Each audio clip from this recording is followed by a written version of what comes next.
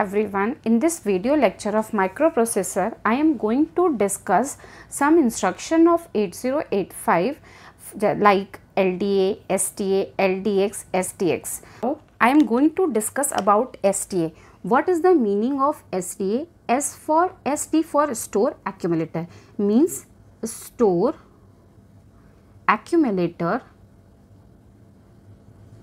later direct clear means कि basically इसमें क्या होता है? इसका फॉर्मेट क्या होता है? इसका फॉर्मेट गिवन होता है S T A plus sixteen bit address ठीक है?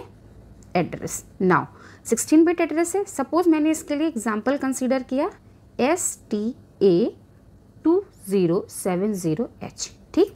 मीन्स कि इन दिस प्रोग्राम क्या होगा? Content of accumulator will be transfer to two zero seven zero H ठीक? इस मेमोरी की लोकेशन पे चला जाएगा। ये कैसे परफॉर्म करेगा? हमारे पास जो रजिस्टर्स हैं, इन माइक्रो प्रोसेसर ये हमारे रजिस्टर्स हो गए। ठीक है? यहाँ एक्यूमुलेटर हो गया, यहाँ फ्लैग हो गया। ठीक है? बाकियों को मैं नहीं बना चलो लिख देती हूँ H L B C D E ठीक? तो इस केस में क्या होगा? और ये हमारी मेमोरी है।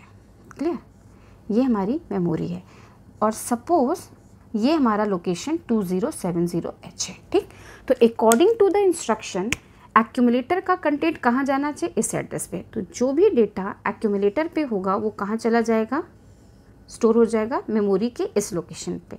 फॉर एग्जांपल अगर एक्यूमुलेटर के अंदर जो वैल्यू थी that is zero five means की content of accumulator is zero five after execution of this instruction this value will be loaded at given location यहाँ पर ठीक? तो आई थिंक इसका ऑपरेशन समझ में आ गया होगा। नाउ अब हम बात करेंगे कि what is the addressing mode for this तो this is direct addressing mode क्योंकि एक्यूमुलेटर से डायरेक्टली लोकेशन पे जा रहा है। जो लोकेशन यहाँ पर गिवन है ठीक? तो एड्रेसिंग मोड इसकी क्या हो गई? Direct addressing mode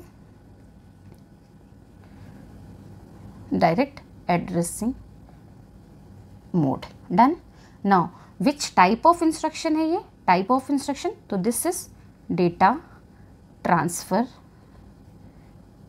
instruction clear क्योंकि डेटा ट्रांसफ़र हो रहा है एक्यूमुलेटर से मेमोरी को. नाउ अब यहाँ पर हमें कितनी साइकिल्स रिक्वायर्ड होंगी? हाउ मेनी बाइट्स रिक्वायर्ड सबसे पहले how many bytes are required हमारा इंस्ट्रक्शन है S T A two zero seven zero H ठीक?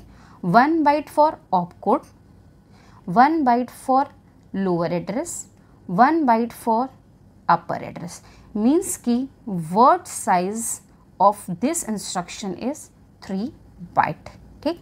Now how many cycles are required for this instruction ठीक है? तो S T A two zero seven zero H ठीक?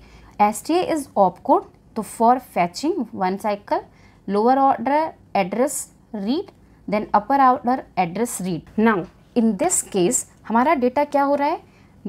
Accumulated to memory location पे transfer हो रहा है मीन्स की data transfer from microprocessor to memory ठीक? माइक्रो प्रोसेसर से डेटा सेंड हो रहा है मीन्स की वन राइट ऑपरेशन हमने फैच किया कि हमें करना क्या है, किस लोकेशन पे करना है देन अब हम उसको एग्जीक्यूट करेंगे.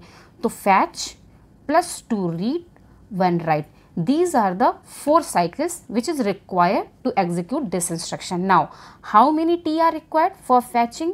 40 for reading 3t for this read 3t for this write 3t means कि total number of t क्या होंगे 13t is required to execute this instruction I think this is clear now next instruction A means load accumulator direct clear means कि अगर ये है direct what is the addressing mode addressing mode addressing mode is direct addressing mode clear now this is the direct addressing mode now what is the format of L D L D A जब भी हम लिखते हैं, हम लिखते हैं LDA इसके साथ लिखते हैं सिक्सटीन बिट एड्रेस ठीक? Sixteen bit address now sixteen bit address है तो फॉर एग्ज़ाम्पल अगर मैंने लिखा L D A two zero five zero ठीक?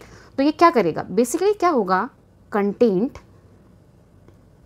of this location means कि जो भी लोकेशन स्पेसिफाइड होगा in instruction content of specified location will load load in accumulator. Clear means कहने का क्या हुआ कि suppose this is our memory ठीक है? ये हमारी मेमोरी है। Suppose this is the location 2050 and यहाँ पर डेटा कोई 45 है एंड ये हमारा माइक्रो प्रोसेसर है। और ये माइक्रो प्रोसेसर में सपोज़ दिस इज़ एक्यूमुलेटर ठीक है? तो अगर ये इंस्ट्रक्शन हमारा एग्जीक्यूट होता है तो इस लोकेशन का डेटा कहाँ लोड हो जाएगा? This location data will be loaded in accumulator means जो 2050 पर कंटेंट था 45 वो कहाँ लोड हो जाएगा?